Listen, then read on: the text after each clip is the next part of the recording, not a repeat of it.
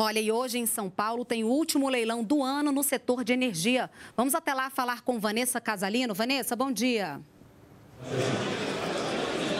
Oi, Renata, bom dia. Bom dia a você que nos acompanha. São 17 linhas de transmissão, quase 4.500 quilômetros de linhas e 16 subestações de transmissão e distribuição de energia em 12 estados, nas cinco regiões do país. Para a gente ter uma ideia, lá no norte, Pará e Acre, no nordeste, Bahia, Alagoas e Ceará, centro-oeste, todos os estados. Aqui no sudeste tem lotes em São Paulo, Rio, Minas Gerais e no sul, Rio Grande do Sul. Como você disse, Renato, investimentos previstos em 4 bilhões 180 milhões de reais.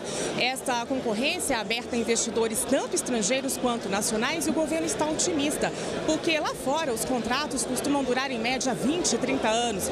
Perdão, lá fora costumam durar 5 anos, aqui no Brasil em média 20, 30 anos. Por isso são contratos considerados bastante atraentes. E tem outra notícia boa, a expectativa é de uma geração de quase 8.800 postos de trabalho. Com gera renda, movimenta a economia e melhora a vida das pessoas. Renata. Obrigada, Vanessa, pelas suas informações ao vivo, direto de São Paulo.